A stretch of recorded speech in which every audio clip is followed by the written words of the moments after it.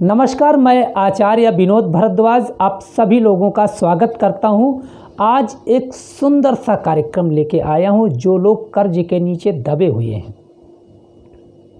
आप तो तमाम प्रयास करते ही हैं, लेकिन फिर भी कर्ज मुक्ति नहीं हो पा रही है। तो आज हम आपके लिए लेके आए हैं गणपति का एक चमत्कारी मंत्र, जो कर्ज से दिलाएगा मुक्ति। लेकिन इसके पहले आप लोगों को जानकारी दें। यदि आप हमसे किसी भी प्रकार से प्रश्न लेना चाहते हैं तो आप जाएँ www.estotak.com पे। वहाँ पे आप अपने प्रश्नों को लिख दें। हम एक उत्तर देंगे, एक उपाय देंगे। आपके जीवन में कल्याणकारी सिद्ध होगा। यदि आप वहाँ से फ़ोन से बात करना चाहते हैं तो आपका स्वागत है।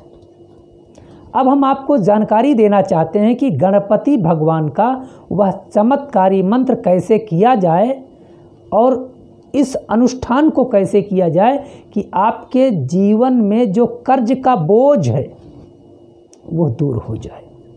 क्योंकि मनुष्य के जीवन में जब कर्ज की स्थिति आती है ना, एक जगह से कर्ज लेता है, वो अभी चुकता नहीं हुआ होता है, कोई ऐसी आपत्ति आ जाती है, दूसरी जगह से ले लेना पड़ता है। एक तरह से कर्ज की बाढ़ आ जाती है। बहुत जगह तो देखा जाता है कि व्यक्ति ऐसा दब जाता है कि दो तीन पीढ़ियाँ उस कर्ज को देने में अक्षम हो जाती है। ये कर्ज निश्चित रूप से हमारे जीवन के लिए कंटक बन जाता है। हम न खुल करके अपने जीवन का आनंद ले पाते हैं, न खुल करके पैसा खर्च कर पाते हैं, न अपने बच्चों के लिए कुछ जोड़ पाते हैं। तमाम प्रकार से दिक्कतें हमारे जीवन में बनती चली जाती हैं।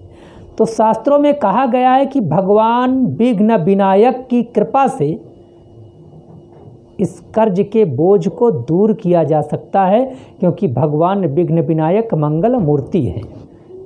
कोई भी कार्य यदि आप संपन्न करते हैं तो सबसे पहले गणेश आय नमा लिखते हैं। क्यों लिखते हैं? क्योंकि उन कार्यों में विघ्न बाधा ना आए। परंतु भगवान गणेश को ऋण हरता भी कहा गया है शास्त्रों में। ऋण का हरण कर लेते हैं मतलब कर्ज को समूल नष्ट कर देते हैं।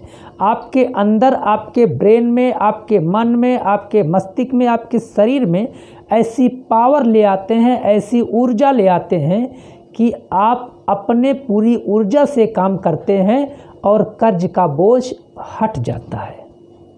आज हम आपको सुंदर सा नियम बताएँगे।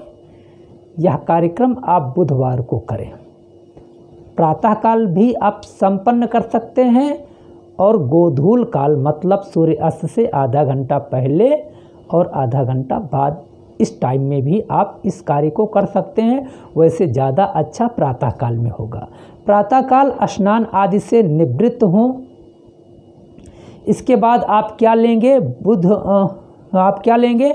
दूरबा लेंगे, पीला चावल लेंगे, हल्दी लेंगे, गुड़ लेंगे, फूल लेंगे, एक दीपक बनाएँगे और पूरब की ओर मुख करके आप बैठ जाएँगे यदि अपने घर में बैठ रहे हैं तो। यदि मंदिर में जा रहे हैं तो जिधर भगवान गणपति की मूर्ति है, उसके सामने बैठ जाएँ। क्या कार्य करना है? गणपति की मूर्ति को पीले वस्त्र पे स्थापित कर लें। एक घी का दीपक आप ले करके गणपति के सामने रख दें। हल्दी, चावल, रोली, धूप, दीप, नैवेद्य, जिससे भी भगवान गणपति का पूजन आप संपन्न करते हैं, पूजन को कर दीजिएगा।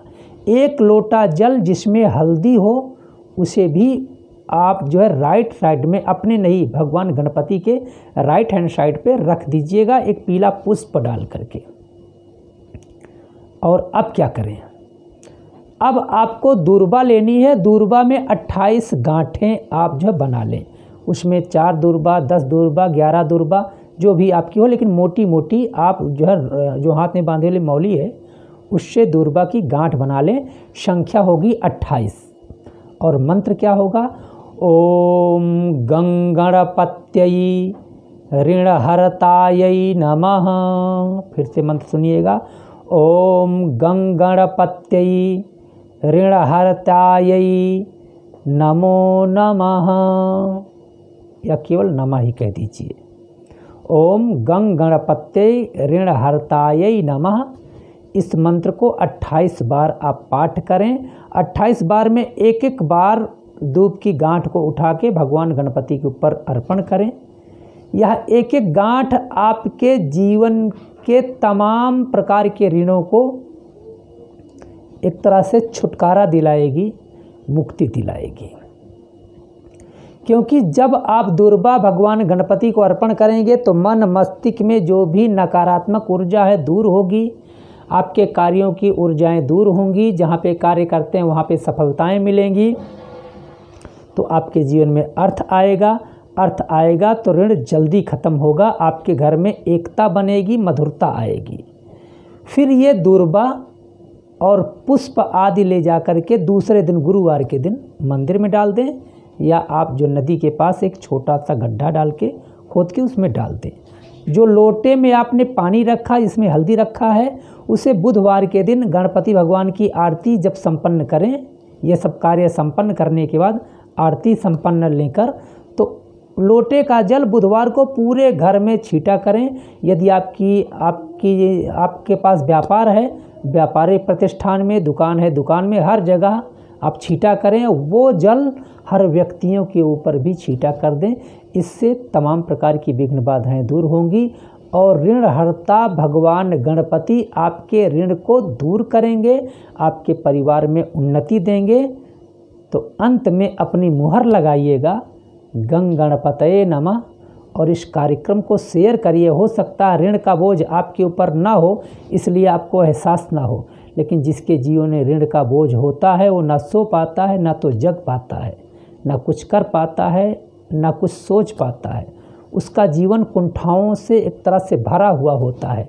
उनके लिए प्लीज़ शेयर कीजिएगा। हो सकता है कि आपका शेयर किसी के जीवन में पुण्य बन करके उसके जीवन को एक तरह से महका दे। आप लोगों का बहुत बहुत धन्यवाद नमस्कार।